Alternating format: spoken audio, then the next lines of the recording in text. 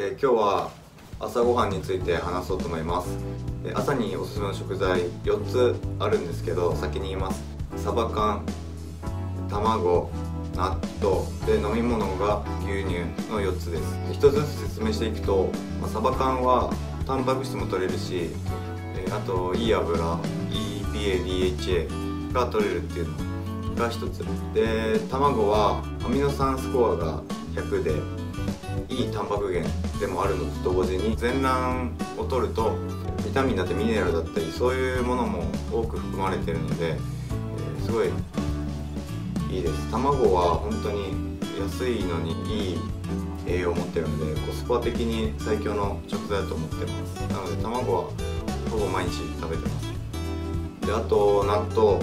ま、納豆は植物性のタンパク質が取れるっていうのが一つとあと乳酸菌を取れるので、えー、腸内の環境を良くしたりっていう効果も期待できます。で牛乳。牛乳飲んでお腹下してしまう人は無理して飲む必要はないんですけど、えー、そうじゃない人は、まあ、栄養素的にもいいし最近は筋肉の疲労を回復させてくれるっていう研究結果が出たりもしてるので苦手じゃない人は是非飲んでほしいなと思います、まあ、この4つおすすめなんですけど、まあ、全て共通しているのがもう手間がかからないっていう点です。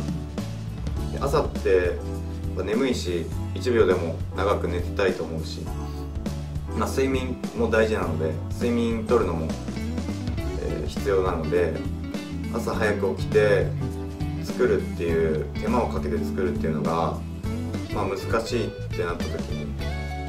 すすめなのがこの手間のかからない食材。この4つっていうのは非常に優秀かなと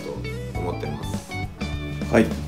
えー、これが僕が基本的に朝食べてる朝ごはんです。まずご飯は、えー、16穀米、まあ、玄米が多いんですけど今日はたまたま。もうご飯は炊いといて小分けで 150g ぐらいに分けて、えー、ラップして冷凍しちゃって朝レンチンしてます。で味噌汁は、まあ、今回は、えー、白菜ときのこと豆腐で作りました、まあ、味噌汁も、まあ、煮て味噌溶かすだけなので簡単なので作っといて朝温めるっていうのが多いです、はい、で卵は、まあ、目玉焼きにしたりすることもあるんですけど最近はめんどくさくなっちゃって生卵2個食べてます。これのサバのお味噌煮をこれ美味しいんですけどサバの味噌煮を卵につけながらすき焼きみたいな感覚で食べたりします。であとは野菜をやっぱり取りたいので緑黄色野菜基本ブロッコリーオクラは朝食べてます、はい、であと牛乳。これが基本的な僕の朝ごはんになります。で本当に面倒くさくて極限まで手間を省くとなると味噌汁アウトしてここに納豆が入ってくればもうそれだけで全然いいと思います。僕納豆食べれないのでもったいないなと思うんですけど納豆食べれる人はマジで毎朝食べてもいいんじゃないかなって思うぐらい納豆は優秀な食材です。でまあ野菜緑黄色野菜もまあ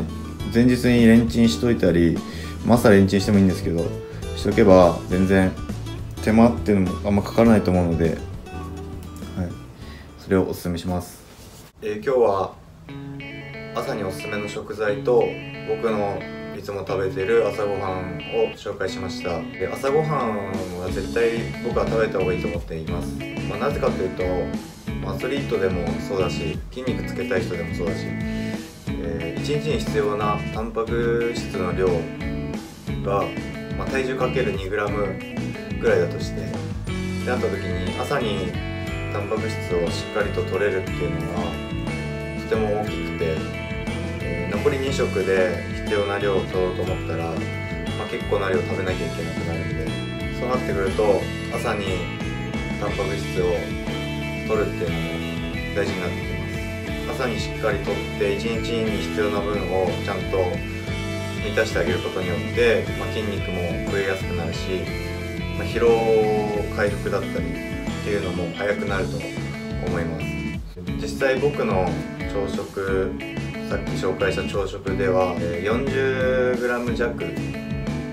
タンパク質が取れてる計算になってます。そうですね。サバと卵、えー、あと牛乳とあと豆腐味噌汁の豆腐などが主なタンパク源になるんですけど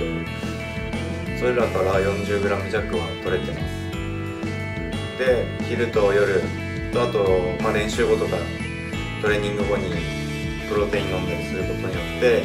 必要なタンパク質量は満たせます。でそれをしっかり継続ずっと継続していくことで長い期間で見た時にしっかりと筋肉がつくし、えー疲労も回復しやすくなって怪我をしにくかったりとかっていうもうメリットがとても多いと思います。なので1日だけいい朝食をとったとしても何も変わりません、えー、やっぱり継続していい朝食を食べるっていうのが大事なのでおしゃれさとか映えっていうのを狙わなくていいのでそんなの狙うよりもしっかりと簡単で手間がかからないで簡単でしっかり一番栄養が取れる食材を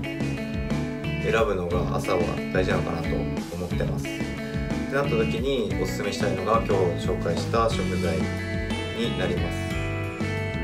結局継続していかないと何の意味もないので